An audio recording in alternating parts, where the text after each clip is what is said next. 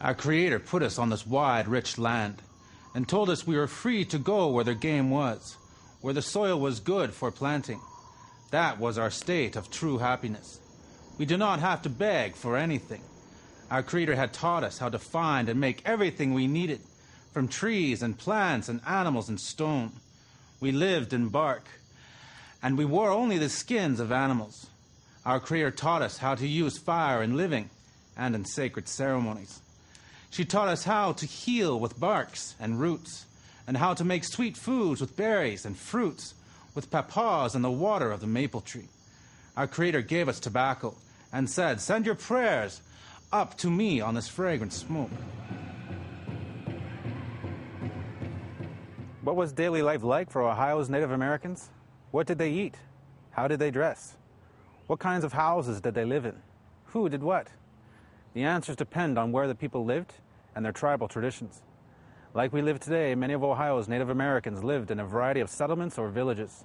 Some were nomadic and lived in temporary camps.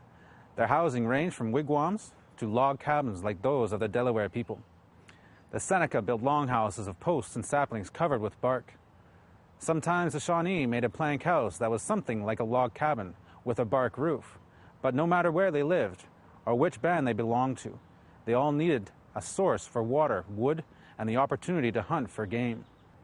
The foods they ate depended on the time of year.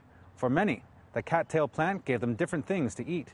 They followed the migrations of birds and animals and paid attention to the growing seasons of wild plants.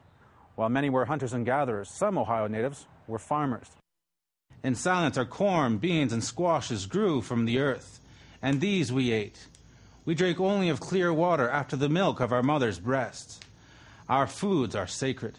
Our grandmother taught us how to hunt and raise these foods, to select seeds and continue the best strains. Different groups traded among themselves to get a variety of material for the tools of daily life and for ceremonies. Central Ohio natives discovered and used flint Nearby in Michigan, they found copper. Without the ability to make tools, they couldn't have built houses, tended to their gardens, or make clothing. Later on, they traded with the settlers. For many years, we traded furs to the English or the French. For wool blankets and guns and iron things, for steel awls, needles, and axes, for mirrors, for pretty things made of beads and silver. So, how did they move around? In the early years, mostly on foot. Those who lived near lakes and rivers learned how to make dugout canoes from tulip poplar trees, or canoes covered in elm bark. After the Euro American settlers began to arrive, the natives could trade for horses. What did they wear? Our most common picture of how Native Americans dressed comes from the Hollywood Western movies. We've seen pictures of tribal chiefs wearing colorful bird feather headdresses, men wearing individual feathers and war paint, native women in fringed buckskin dresses. Some of those styles of dress did exist for the natives living in the West the Apache, Cheyenne, Comanche, but Ohio's natives relied on materials found in Ohio. We know they made clothing out of deer skins that were tanned and hung over a smoky fire to make them waterproof. We also know that they knew how to weave fiber from the inner bark of trees. The early men wore breechcloths, aprons, and kilts. Women wore simple short skirts and leggings, and they all wore moccasins. Some made designs on their clothing from stamps made out of carved stone or wood. They also did this with paint. Sometimes they dyed a design into the woven cloth. Some clothing was decorated with beads made out of copper, stone, bone, wood, shell, and even horn. They also used porcupine quills and moose hair. One unique way to decorate was to use the freshwater pearls from Ohio's rivers. After the trade began with the settlers, Ohio's Native Americans began to see and use wool and cotton, cloth, silk, ribbons, glass beads, and trade silver. Later on, they adopted European styles of dress like cotton shirts, blanket coats with leather or wool leggings, and women began to wear cotton blouses. For some of Ohio's Native Americans, this meant the end of a way of life. But now the things of the white men have corrupted us and made us weakened and needful. Our men forgot how to hunt without noisy guns.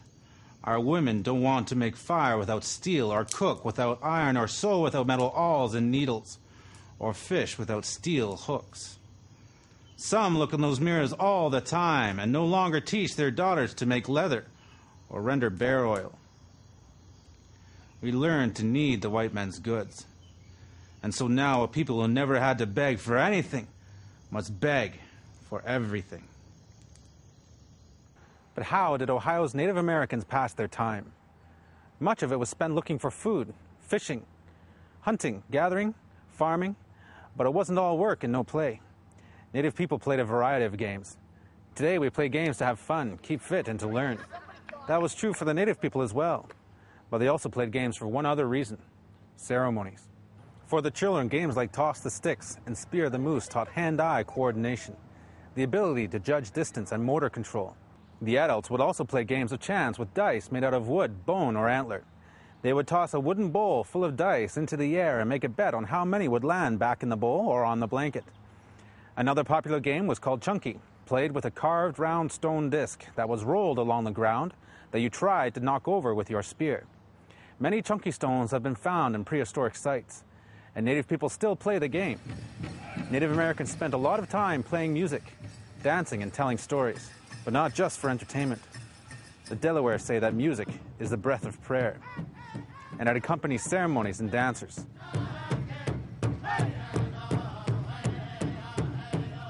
These art forms were often used to teach lessons to the young people. The instruments included drums, panpipes, rattles, flutes, whistles, and bells, and these are still used today. Some instruments, like the drum, are sacred. The drum's shape represents the earth, its sound, the heartbeat of Mother Earth. Dance is also important to the native culture. There are two forms of dance ceremonial and social. Ceremonial dances are visual prayers. These prayers are used to ask for help from the Creator. Social dances are used to meet, to socialize, and to have a good time. And Ohio's natives told stories for fun or to pass on the history of their nation, their spiritual beliefs, laws, and moral beliefs, and to explain where they fit in the creation. Gitche Manitou, the great creator, was busy creating everything, and when he was done, he saw that he had some parts left over. And he decided that he does not want us to waste anything that belongs to this earth. So he decided to make one last animal and he took all the parts he had left and he put them together into this last animal.